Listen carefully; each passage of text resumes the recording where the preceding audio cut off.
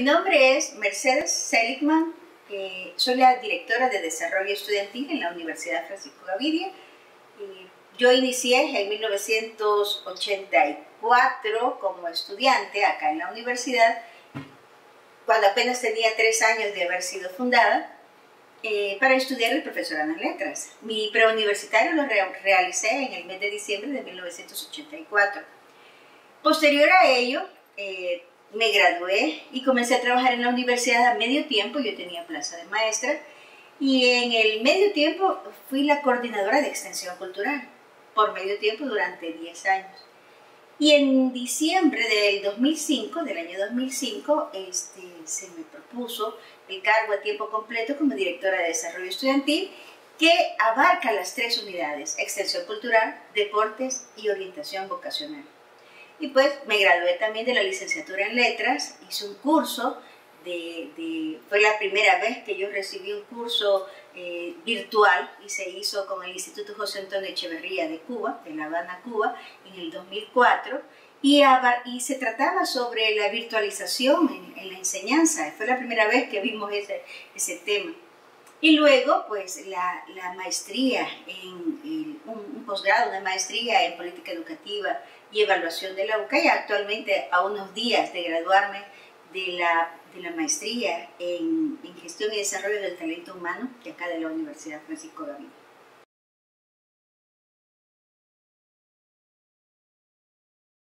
Bueno, eh, haber iniciado en la universidad, como les menciono, en diciembre del, de 1984, a tres años de haber sido fundada la universidad, en sus inicios sobre la Alameda Roosevelt, recuerdo perfectamente la dirección, Alameda Roosevelt número 3031, eso nunca lo olvidaré. Eh, cómo, cómo, la estructura, cómo la infraestructura de la universidad se fue ampliando en el año 97 con, con la construcción de los edificios A, B y C. Eso fue para mí un cambio notable.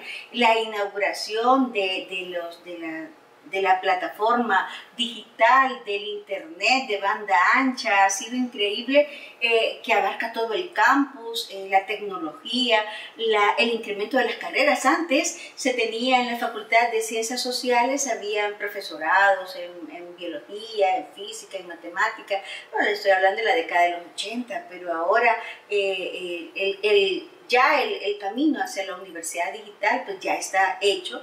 Y puedo decir con mucho orgullo que, que formo parte de esta universidad. Y, y, estas, estas innovaciones y todo este cambio tecnológico que ha tenido la universidad hacia una visión de futuro realmente es una realidad para nosotros, ya no es una utopía, estamos viviendo esa mejora y, no, y me da mucha alegría y mucho orgullo formar parte de esta iniciativa y de, de, sentir el apoyo que las altas autoridades dan a todos los proyectos que las diferentes direcciones, y en mi caso como extensión cultural, como deportes, como orientación vocacional, el hacer digital, eh, eh, virtualizar toda la actividad física que, que hemos tenido en el pasado para, por supuesto, dar respuesta a esta pandemia ha sido increíble. Y eso nos da también mucho orgullo y alegría porque de cualquier manera estamos llegando siempre a atender esas actividades extracurriculares en nuestros estudiantes.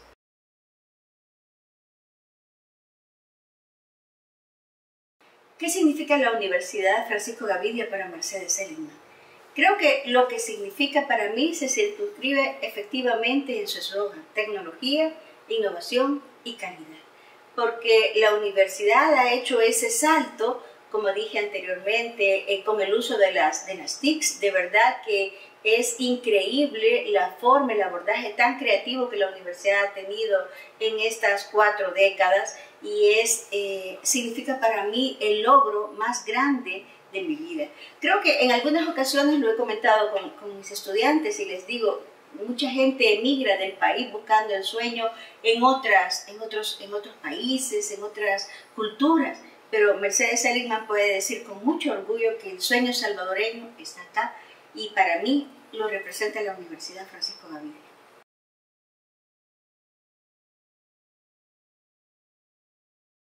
Para la Universidad Francisco Gavidia en sus cuatro décadas de haber sido fundada. Mis mejores deseos porque continuemos de la mano y que sigamos siendo parte de esta familia gavidiana por mucho tiempo y sigamos viendo sus logros y éxitos por las siguientes décadas, llevando el nombre de Francisco Gavidia, el máximo escritor y poeta en el país, llevar, llevarlo a otras latitudes y que sea totalmente internacional.